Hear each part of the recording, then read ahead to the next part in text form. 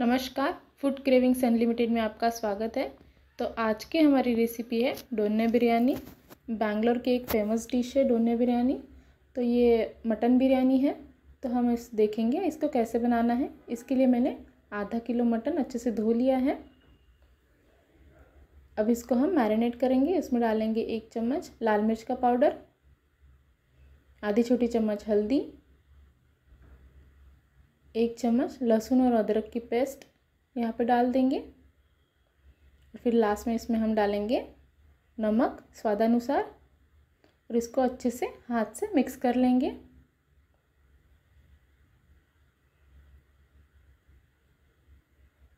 और अब हम इसको अच्छे से हाथ से मिक्स कर लेंगे और पंद्रह मिनट के लिए हम इस मैरिनेट को वैसे ही रख देंगे। मसाले अच्छी तरह से मटन को कोट हो जाएँगे। इस तरह से मिक्स करना है। अब पंद्रह मिनट के बाद मैं इसमें दही डाल दूँगी। यहाँ पे मैंने दो छोटी चम्मच दही लिया है। ये पूरा दही मैं इसमें डाल दूँगी और इसको अच्छे से मैरिनेट कर लूँगी और इसको एक घंटे के लिए हम ढक के रख देंगे। अब हम इसके लिए मसाला तैयार करेंगे। मसाले के लिए हमें चाहिए ऑनियन यहाँ पे मैंने दो बड़े ऑनियन लिए हैं। हरी मिर्च टमाटो, हरा धनिया और पुदीना। और अब हम इसके लिए लेंगे लहसुन और अदरक की पेस्ट। और अब हम मसाला बनाएँगे। मसालों के लिए मैंने एक तवे पे थोड़ा सा तेल लेके उसमें डाली है दालचीनी। ब्लैक पेपर डालना है सात से आठ। फिर इसमें डालेंगे लौंग, पाँच से छः एक जावित्री डालेंगे इसमें, एक तेज पत्ता डालेंगे, और इसको अच्छे से मिक्स कर लेंगे। एक मिनट के लिए, फिर इसमें हम ऐड करेंगे सौफ, एक चम्मच। सौफ डालने से बहुत ही अच्छा स्वाद आता है तो आप इसे करते टाइम ऐड करना ही। फिर इसमें हम ऑनियन डाल देंगे और इसको अच्छे सा सुनहरा होने तक पकने देंगे। और इसमें डालेंगे तीन हरी मिर्चियाँ।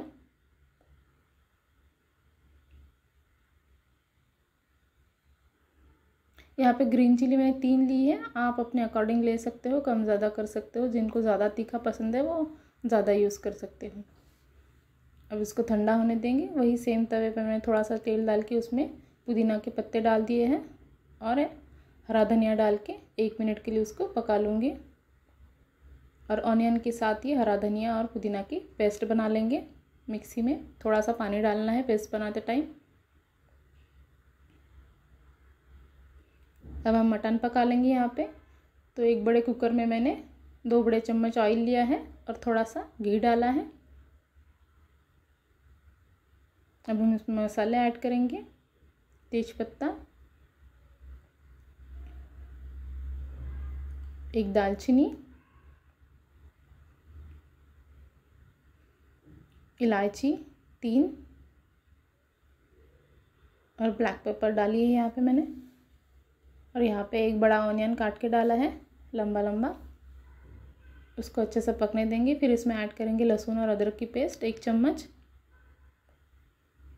ये पकने के बाद हम इसमें प्याज, पुदीना और हरा धनिया की पेस्ट डाल लेंगे, जो हमने बनाई थी। और इस पेस्ट को दो से तीन मिनट के पकाना है, जब तक ये ऑयल ना छोड़े। फिर हम इसमें टमाटो ऐड करेंगे एक, बारीक कटा हुआ। टमाटो को अच्छे से पकाना है, एक मिनट के लिए। और हम इसमें डाल देंगे मसाले, मसालों में एक चम्मच धनिया पाउडर, आधी छोटी चम्मच हल्दी और एक चम्मच गरम मसाला। यहाँ पे मैं अब लाल मिर्च का पाउडर नहीं डालूँगी क्योंकि मैंने हरा, हरी मिर्च यूज़ की है और लाल मिर्च मैंने मैरिनेशन में डाली थी। और यहाँ पे आप मैरिनेटेड मटन डाल देंगे। यहाँ पे मटन को तीन से चार मिनट के लिए इस मसालों में पकाना है और फिर हम इसमें पानी ऐड करेंगे। यहाँ पे मैंने चार कटोरी पानी लिया है, उसको गर्म कर लिया है अच्छे से। और वो इसमें मैं गर्म पानी डाल दूँगी तीन से चार मिनट के बाद। ये मैंने गर्म पानी डाल दिया है और इसमें हम नमक ऐड करेंगे। और इसको चार से पाँच सीटियों तक पकने देंगे। अब यहाँ पे मैंने लिया है जीरा सांभर राइस। इस राइस से बहुत ही अच्छी बिरयानी बनती है तो इसको मैं अच्छे से धो के बीस मिनट के लिए भिगो के रख दूँगी, जब तक मटन पक जाएगा, तब तक ये भीग के भी तैयार हो जाएगा। ये देखो, तीन से चार सीटी के बाद ये पक के तैयार है। अभी हम इसमें राइस डाल देंगे। राइस को अच्छे से मिक्स करना है और एकदम से कुकर नहीं लगाना है। थोड़ा पानी सौख हो जाए राइस को। दो तीन मिनट के लिए पहले पकाना है, फिर देखना है। जब ऐसा टेक्सचर आ जाए, उसके बाद हम उसमें थोड़ा सा घी डालेंगे, एक चम्मच। डोने बिरयानी में घी का यूज़ ज़्यादा होता है तो आप ज़्यादा भी घी डाल सकते हो। यहाँ पे मैं एक चम्मच घी डाल दूँगी और अच्छे से मिक्स कर लूँगी।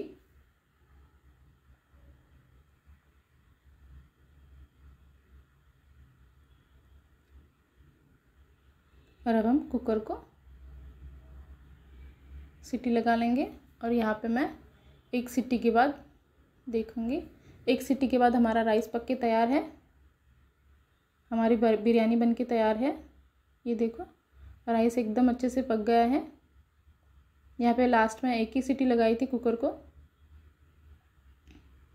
ये हमारी बिरयानी खाने के लिए एकदम रेडी है।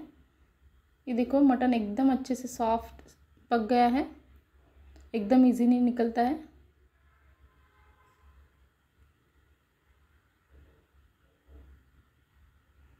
बहुत ही अच्छी स्वाद आता है इस बिरयानी का तो आप इसे ज़रूर ट्राई करना। So thanks for watching my recipe